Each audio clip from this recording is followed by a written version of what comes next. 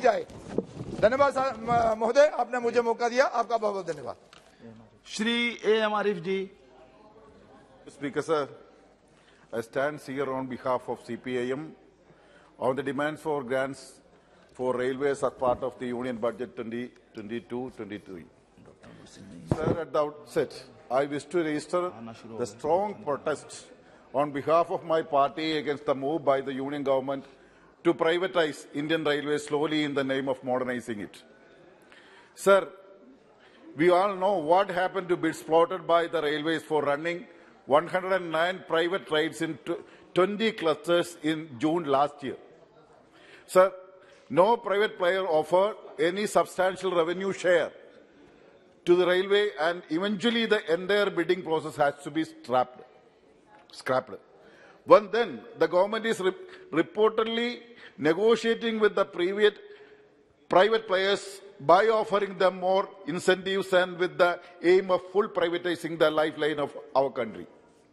Sir, inefficiency has been used as a major weapon against the public sector by the proponents of privatization.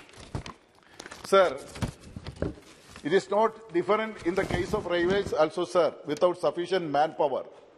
How efficiency could be achieved? Indian Railways is one of the major employer in the public sector, even in the world. But what is the plight now, sir?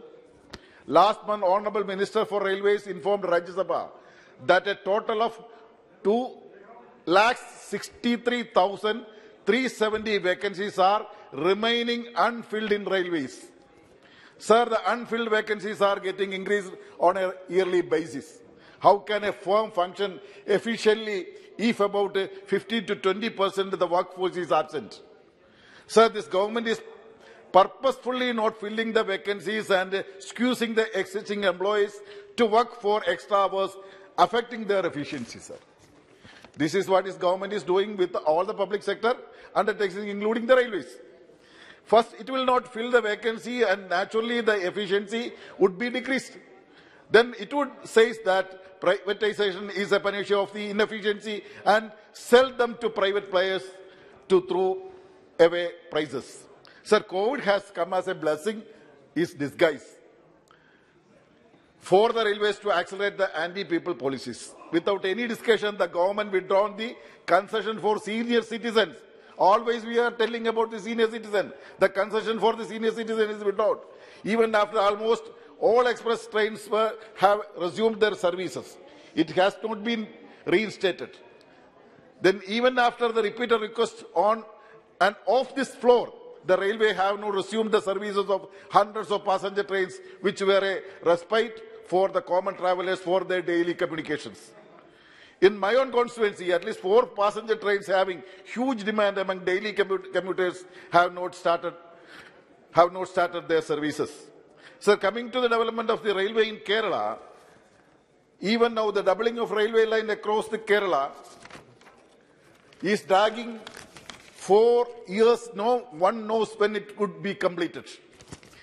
The proposal for the ROBs pending before the board, the projects already sanctioned, not yet started, oh, the ROBs projects. So I, I, I request you to Honorable Minister to scrutinize this, why the projects are pending before the board. You, you may please uh, the, given uh, direction to the authorities to scrutinize these projects here. Even though the part of uh, funds were sanctioned last year for doubling of Kayamkulam Ernakulam stretch via Alappuzha, no progress could be made till date, and remaining part is not yet sanctioned. It is pending before the body, sir. Sir, this government is showing a stepmotherly attitude towards Kerala in railway development by purposefully putting hurdles for the K-Rail Dream project envisioned for modern Kerala by the LDF government. Sir, our government in Kerala went ahead with the project only after getting in principle approval from the union government. But unfortunately, this government now taking stance against the K-Rail, succumbing the pressure from the Congress, BJP, Nexus and anti-people uh, forces, which are up in arms to protect their interests. Sir, why the BJP and Congress are against the project? Because they clearly know that uh, implementing such a project by the LDF government will shut their doors of power forever in the state.